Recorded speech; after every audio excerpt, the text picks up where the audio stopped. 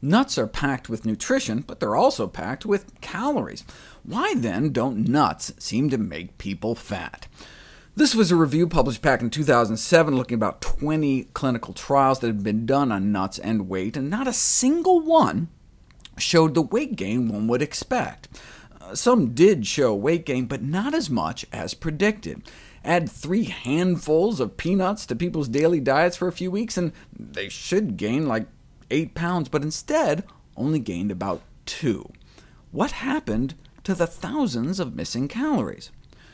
Same thing with walnuts. After six months of a handful of walnuts a day, they should have gained about 12 pounds, but instead just gained 1, much lower than expected. OK, what about two handfuls of nuts a day for six months? 40 to 50 almonds added to their diets every day. That's 320 calories added to their daily diet.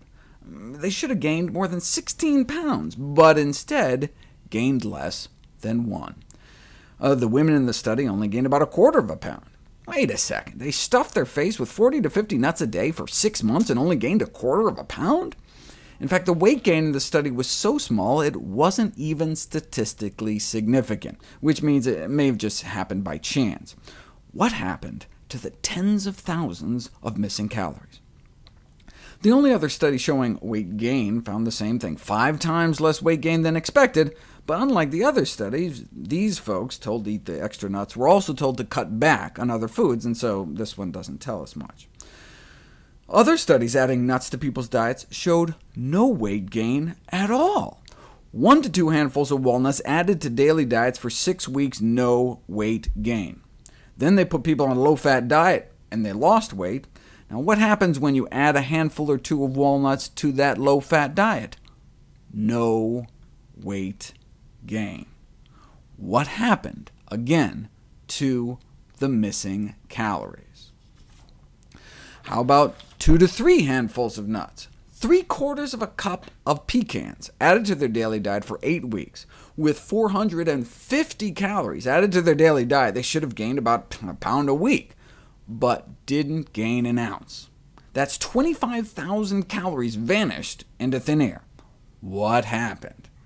There's even a study in which adding daily handful of nuts for a month resulted in weight loss. Macadamia nuts this time. What is going on? All the other nut studies in this review were what are called isoenergetic studies, uh, meaning they adjusted the calories to ensure people would stay the same weight which makes it even more remarkable that in some of the studies, people mysteriously lost more weight eating nuts. For example, here, they prepared all the meals, forced people to eat only out of the metabolic kitchen, in which food portions were calculated to the nearest gram. Both groups were given the same kind of diet, but one group was given handfuls of pecans. Uh, to ensure no weight changes, they made sure the diets had the same number of calories by reducing the portion sizes of the rest of the diet in the nut group. So in the end, each group was supposed to get 2,400 calories a day.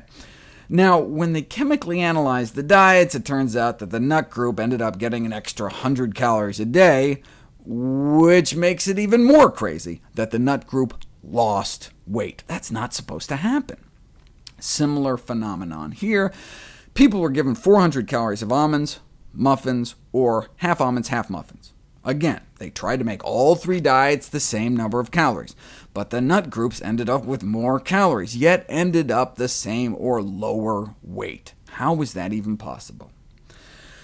Well, these were all clinical trials where people were put on added nuts for just a few weeks or months. What about long term? Maybe in the short run, nuts don't lead to weight gain, but maybe after years of eating nuts? Well, that's been looked at six different ways, in studies lasting from one year to six years, the Harvard Nurses Health Study. One found no significant change. The other five out of six measures found significantly less weight gain and risk of abdominal obesity in those eating more nuts. This was uh, published back in uh, 2011, though. Is this just old news? And this was five years ago. Has there been any studies published since that are missing from these reviews. Yes, a whole bunch of them, and I'm going to just run through them quick.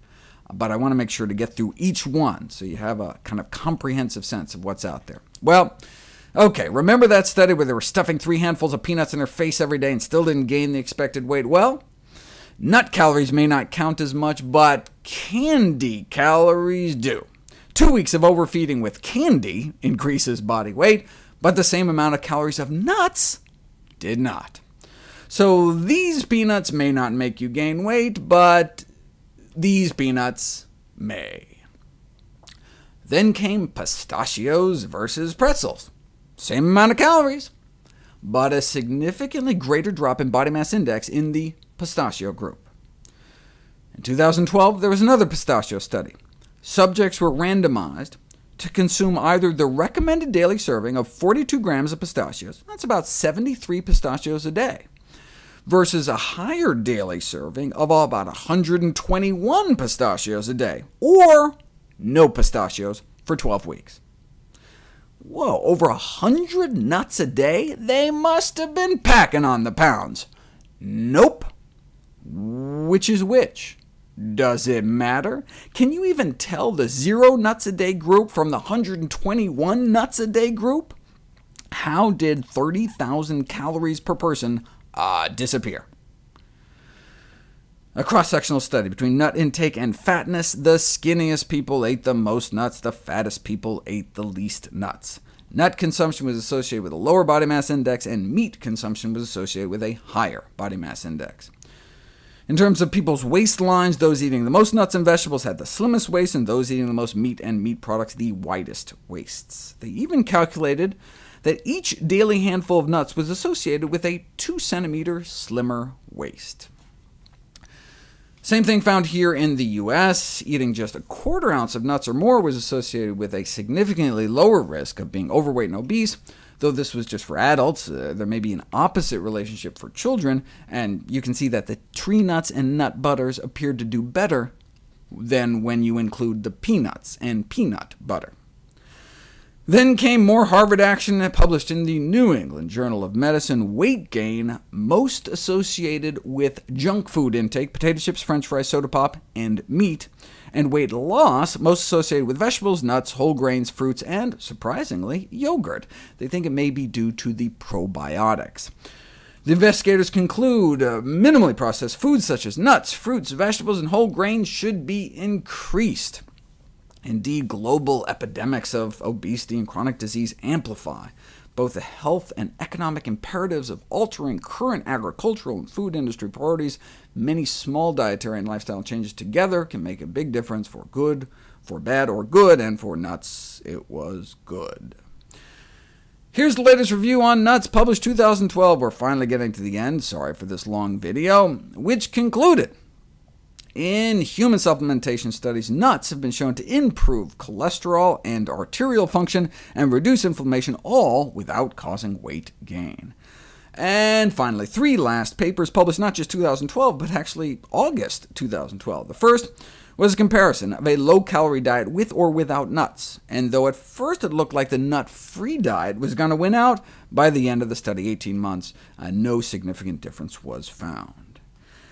Then two weeks ago, another cross-sectional study, meat, soda, and cake were associated with the highest BMI and nut consumption with the lowest. Similar to what was concluded in the latest review on food and long-term weight change over time, they looked at all the best studies published over the last 12 years, and what did they find? They found two main things probable evidence for high intake of dietary fiber and nuts, predicting less weight gain over time, and for high intake of meat, predicting more weight gain. The bottom line is that so far, every single study in which they added nuts to people's diets without trying to restrict calories failed to show the expected weight gain, uh, whether it was just less than predicted, uh, no weight gain at all, or they even lost weight. So what happened to the missing calories?